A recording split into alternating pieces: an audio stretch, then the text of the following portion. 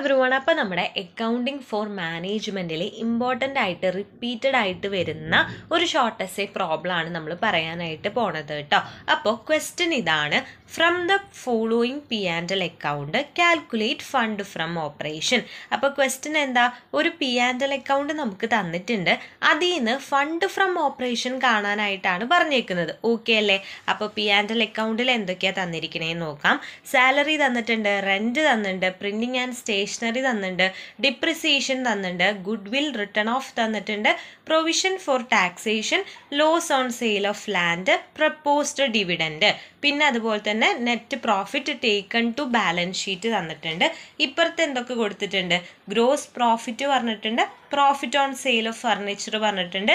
Interest on investment കൊടുത്തിട്ടുണ്ട്. ഇത്രയും details ഇത്രയും പി ആൻഡ് അക്കൗണ്ട് ആണ് നമ്മളോട് തന്നിട്ടുള്ളത്. എന്നിട്ട് നമ്മളോട് എന്ത് കാണാനായിട്ടാണ് പറഞ്ഞേക്കണേ? ഫണ്ട് ഫ്രം ഓപ്പറേഷൻ കാണാനായിട്ടാണ് പറഞ്ഞേക്കണേ അല്ലേ? അപ്പോൾ ആദ്യം തന്നെ നിങ്ങളൊരു കാര്യം അറിഞ്ഞിരിക്കേണ്ടത് രണ്ട് രീതിയിൽ നമുക്ക് ഫണ്ട് ഫ്രം ഓപ്പറേഷൻ കാണാനായിട്ട് പറ്റും. ഒന്ന് സ്റ്റേറ്റ്മെന്റ് മെത്തേഡാണ് ഒന്ന് പി ആൻഡിൽ അഡ്ജസ്റ്റ്മെന്റ് അക്കൗണ്ട് മെത്തേഡാണ് അപ്പോൾ എങ്ങനെയാണ്? രണ്ട് രീതിയിൽ നമുക്ക് എന്ത് കാണാം? ഫണ്ട് ഫ്രം ഓപ്പറേഷൻ കാണാം. ഒന്ന് സ്റ്റേറ്റ്മെന്റ് മെത്തേഡും ഒന്ന് P and L adjustment account മെത്തേഡാണ് സ്റ്റേറ്റ്മെന്റ് മെത്തേഡ് ആണെങ്കിൽ എങ്ങനെയാണ് നമ്മൾ കാണുക ഒരു സ്റ്റേറ്റ്മെന്റ് ഉണ്ട് ഒരു ഫോർമാറ്റ് ഉണ്ട് അതിന്. എങ്ങനെയാണ്? Net profit for the current year ആദ്യം നമ്മൾ എടുക്കേണ്ടത് നമുക്ക് കറന്റ് ഇയറിൽ കിട്ടിയിരിക്കുന്ന നെറ്റ് പ്രോഫിറ്റ് ആണ്. ആ നെറ്റ് പ്രോഫിറ്റിന്റെ കൂടെ നമ്മൾ എന്തൊക്കെ ആഡ് ചെയ്യണം? നമുക്ക് എന്തൊക്കെ എക്സ്പെൻസസ് വന്നിട്ടുണ്ട്? നമ്മുടെ പി ആൻഡ് എൽ അക്കൗണ്ടിൽ നമുക്ക് എന്തൊക്കെ നോൺ ഓപ്പറേറ്റിംഗ് എക്സ്പെൻസസ് വന്നിട്ടുണ്ടോ? അതിനെയെല്ലാം നമ്മൾ ഈ നെറ്റ് പ്രോഫിറ്റിന്റെ കൂടെ എന്ത് ചെയ്യണം? ആഡ് ചെയ്യണം. അതുപോലെ തന്നെ നമ്മുടെ പി ആൻഡ് എൽ അക്കൗണ്ടിൽ അല്ലെങ്കിൽ പി ആൻഡ് എൽ സ്റ്റേറ്റ്മെന്റിൽ നമുക്ക് എന്തൊക്കെ നോൺ ഓപ്പറേറ്റിംഗ് ഇൻകംസ് വന്നിട്ടുണ്ടോ അതിനെയെല്ലാം നമ്മൾ എന്ത് ചെയ്ത് കളയണം? ലെസ് ചെയ്തും കളയണം. ഓക്കെ അല്ലേ? അപ്പം നമ്മുടെ എക്സ്പെൻസസിനെ എല്ലാം ആഡ് ചെയ്യും. അതുപോലെ തന്നെ ഇൻകത്തിനെ എല്ലാം എന്തിൽ നിന്ന് ലെസ് ചെയ്യണം? നെറ്റ് പ്രോഫിറ്റിൽ നിന്ന് ലെസ് ചെയ്യണം. ഓക്കെ അല്ലേ? അത് ചെയ്താൽ നമുക്ക് എന്ത് കിട്ടും? ഫണ്ട് ഫ്രം ഓപ്പറേഷൻസ് കിട്ടും. ഇനി ഈ പറഞ്ഞ നോൺ ഓപ്പറേറ്റിംഗ് എക്സ്പെൻസസിൽ എന്തൊക്കെയാണ് വരണേന്ന് അറിയണല്ലേ? എന്തൊക്കെയാ? Depreciation goodwill written off preliminary expenses written off അതുപോലെ തന്നെ ഇഷ്യൂ ഷെയർസിൽ എന്തെങ്കിലും ഡിസ്കൗണ്ട് റിട്ടേൺ ഓഫ് ചെയ്തിട്ടുണ്ടെങ്കിൽ പിന്നെ നമ്മൾ ഫിക്സ്ഡ് അസറ്റ് സെയിൽ ചെയ്യുമ്പോൾ ലോസ് ആണെങ്കിൽ അത് എക്സ്പെൻസ് അല്ലേ? പ്രോഫിറ്റ് ആണെങ്കിലോ? അത് ഇൻകാണ് അല്ലേ? അപ്പോൾ ആ പ്രോഫിറ്റിനെ നമ്മൾ എന്ത് ചെയ്യണം? ലെസ് ചെയ്യണം. ലെസ് ലോസിനെ നമ്മൾ എന്ത് ചെയ്യണം? ആഡ് ചെയ്യണം. അതുപോലെ തന്നെ interim dividend proposed dividend transfer to reserves ഇതൊക്കെ ആഡ് ചെയ്ത് കൊടുക്കുക. അതുപോലെ തന്നെ ഇൻകംസ് ആയിട്ട് നമുക്ക് കിട്ടിയിട്ടുള്ളതിനെയൊക്കെ ലെസ് ചെയ്യുകയും ചെയ്യുക ഡിവിഡൻഡ് റിസീവ് ചെയ്തത് ഇൻട്രസ്റ്റ് ഓൺ ഇൻവെസ്റ്റ്മെന്റ് അതുപോലെ തന്നെ ഫിക്സ്ഡ് അസറ്റ് എന്തെങ്കിലും സെയിൽ ചെയ്തിട്ട് പ്രോഫിറ്റ് കിട്ടിയിട്ടുണ്ടെങ്കിൽ റീവാലുവേഷൻ ഓൺ അസറ്റ്സ് ഇങ്ങനെ വരുന്ന എല്ലാ നോൺ ഓപ്പറേറ്റിംഗ് ഇൻകംസ് നമുക്ക് കണ്ടാൽ തന്നെ ഏകദേശം അറിയാമല്ലേ നമുക്ക് എന്തൊക്കെയാണ് ഇൻകം എന്തൊക്കെയാണ് എക്സ്പെൻസ് എന്നുള്ളത്. അപ്പോൾ ഇൻകം ആണെങ്കിൽ അതിനെ ചെയ്യുക ലെസ് ചെയ്യുക നെറ്റ് പ്രോഫിറ്റിൽ നിന്ന് അതുപോലെ തന്നെ എക്സ്പെൻസസ് ആണെങ്കിൽ എന്ത് ചെയ്യുക ആഡ് ചെയ്യുക നമുക്ക് എന്ത് കിട്ടും? ഫണ്ട് ഫ്രം ഓപ്പറേഷൻ കിട്ടും. ഇങ്ങനെയാണ് നമ്മൾ സ്റ്റേറ്റ്മെന്റ് മെത്തേഡ് വെച്ചിട്ട് ഫണ്ട് ഫ്രം ഓപ്പറേഷൻ കാണേണ്ടത്. ഇനി പി ആൻഡ് എൽ അഡ്ജസ്റ്റ്മെന്റ് വെച്ചിട്ട് എങ്ങനെയാണ് കാണാൻ നോക്കാം. Adjusted P and L account ആകുമ്പോൾ നിങ്ങൾ ആദ്യം ചെയ്യേണ്ടത് ഓപ്പണിംഗ് ബാലൻസ് എവിടെ വരും? ക്രെഡിറ്റ് സൈഡ് വരും. ഓപ്പണിംഗ് ബാലൻസ് എവിടെ വരും? ക്രെഡിറ്റ് സൈഡ് വരും. അതുപോലെ തന്നെ ക്ലോസിംഗ് ബാലൻസ് എവിടെ വരും? ഡെബിറ്റ് സൈഡ് വരും. ഇത്ര ഓർത്തിരിക്കുക ഓപ്പണിംഗ് ബാലൻസ് ക്രെഡിറ്റ് സൈഡിലും ക്ലോസിംഗ് ബാലൻസ് ഡെബിറ്റ് സൈഡിലും വരും. അതുപോലെ തന്നെ എല്ലാ എക്സ്പെൻസസും നോൺ ഓപ്പറേറ്റിംഗ് എക്സ്പെൻസുകളും ഡെബിറ്റ് സൈഡിലാണ് വരിക അതുപോലെ തന്നെ നോൺ ഓപ്പറേറ്റിംഗ് ഇൻകംസ് എല്ലാം എവിടെ വന്നു? ക്രെഡിറ്റ് സൈഡിലേക്ക് എഴുതി. ആകെ അത്രേ ചെയ്യുന്നുള്ളൂ. നമ്മുടെ എക്സ്പെൻസുകൾ ഡെബിറ്റ് സൈഡിലും അതുപോലെ തന്നെ ഇൻകംസ് ക്രെഡിറ്റ് സൈഡിൽ എഴുതി നമ്മൾ ബാലൻസ് ചെയ്തു. ബാലൻസ് ചെയ്ത് കിട്ടുന്ന എമൗണ്ട് എന്തായിരിക്കും? ഫണ്ട് ഫ്രം ഓപ്പറേഷൻ ആയിരിക്കും. ബാലൻസിങ് ഫിഗർ എന്ന് പറയുന്നത് എന്തായിരിക്കും? ഫണ്ട് ഫ്രം ഓപ്പറേഷൻ ആയിരിക്കും. അപ്പോൾ ഇതിൽ നമ്മൾ മെയിനായിട്ട് അറിഞ്ഞിരിക്കേണ്ടത് എന്തൊക്കെയാണ് നോൺ ഓപ്പറേറ്റിംഗ് എക്സ്പെൻസസ് എന്ന് അറിഞ്ഞിരിക്കണം. എന്തൊക്കെയാണ് നോൺ ഓപ്പറേറ്റിംഗ് ഇൻകംസ് എന്ന് അറിഞ്ഞിരിക്കണം. സ്റ്റേറ്റ്മെന്റ് മെത്തേഡ് ആണെന്നുണ്ടെങ്കിൽ നെറ്റ് പ്രോഫിറ്റിന്റെ കൂടെ ഈ പറഞ്ഞ നോൺ ഓപ്പറേറ്റിംഗ് എക്സ്പെൻസസ് എല്ലാം ആഡ് ചെയ്യുക നോൺ ഓപ്പറേറ്റിംഗ് ഇൻകംസ് എല്ലാം ലെസ് ചെയ്യുക. Adjusted P and L account വെച്ചിട്ടാണ് ചെയ്യണമെങ്കിൽ നമ്മൾ എന്ത് ചെയ്യണം? നോൺ ഓപ്പറേറ്റിംഗ് എക്സ്പെൻസുകളെല്ലാം ഡെബിറ്റ് ചെയ്യണം. നോൺ ഓപ്പറേറ്റിംഗ് ഇൻകംസിനെ എല്ലാം ക്രെഡിറ്റ് ചെയ്യുക ബാലൻസ് ചെയ്ത് കിട്ടുന്ന ഫിഗർ എന്തായിരിക്കും? ഫണ്ട് ഫ്രം ഓപ്പറേഷൻ ആയിരിക്കും. ഓക്കെ അല്ലേ? സിമ്പിൾ ആണ് കേട്ടോ. അപ്പം നമ്മുടെ പ്രോബ്ലത്തേക്ക് നമുക്ക് തിരിച്ചു വരാം. നമ്മുടെ ഫോർമാറ്റൊക്കെ നമ്മൾ ഏകദേശം നോക്കി. ഓക്കെ ആയി അല്ലേ? അപ്പോൾ ഇവിടെ നമ്മുടെ പി ആൻഡിൽ കുറച്ച് ഐറ്റംസ് ഒക്കെ തന്നിട്ടുണ്ട്.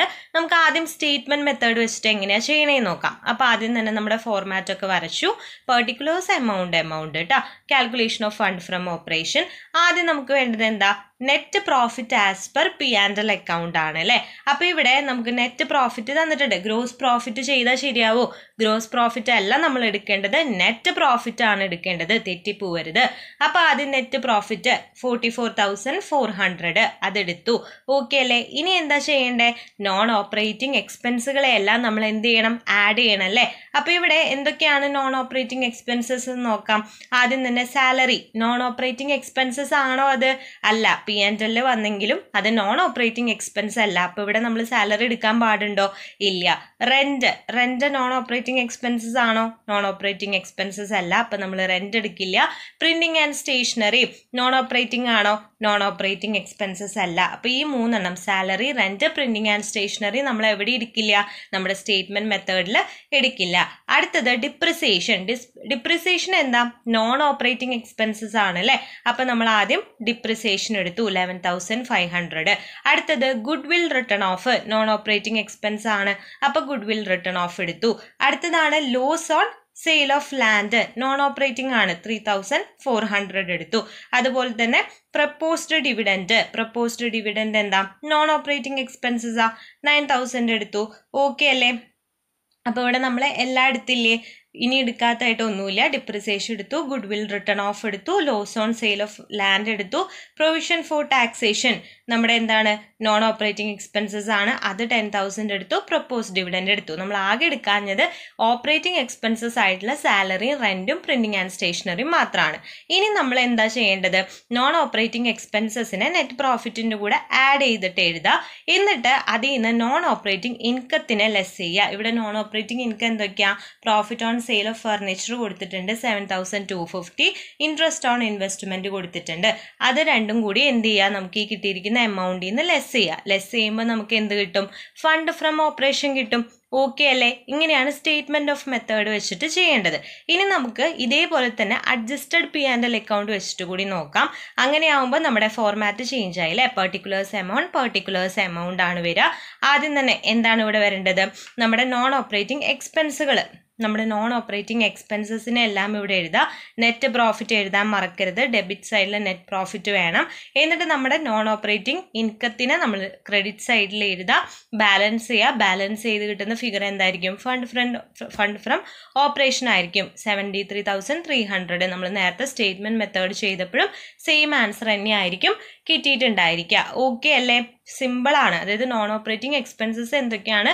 നോൺ ഓപ്പറേറ്റിംഗ് ഇൻകംസ് എന്താണെന്ന് അറിഞ്ഞിരിക്കുക. പിന്നെ ക്വസ്റ്റനിൽ ഇതുപോലെ ഡൗട്ട് ചെയ്യാൻ വേണ്ടിയിട്ട് ഈ സാലറി റെന്റൊക്കെ കൊടുക്കും. അത് ഓപ്പറേറ്റിംഗ് എക്സ്പെൻസസ് ആണ്. നമ്മുടെ ഇതിൽ എടുക്കേണ്ട കാര്യമില്ല. ഓക്കെ അല്ലേ? ക്ലിയർ ആയി എന്ന് വിചാരിക്കുന്നു.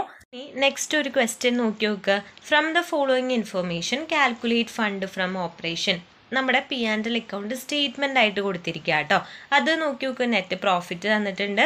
ഡിപ്രിസിയേഷൻ തന്നിട്ടുണ്ട്. Loss on sale of machinery profit on sale of investment provision for tax goodwill written off preliminary expenses dividend received interim dividends paid അതുപോലെ തന്നെ advertisement expenses paid refund of tax ഒരു statement ആയിട്ട് കൊടുത്തിരിക്കുകയാണ് അപ്പോൾ നമുക്ക് ഇതിന്റെ statement മെത്തേഡിൽ ചെയ്യുകയാണെങ്കിൽ കുറച്ചുകൂടി എളുപ്പമായിരിക്കും അല്ലേ നെറ്റ് പ്രോഫിറ്റ് ആദ്യം എടുക്കുക.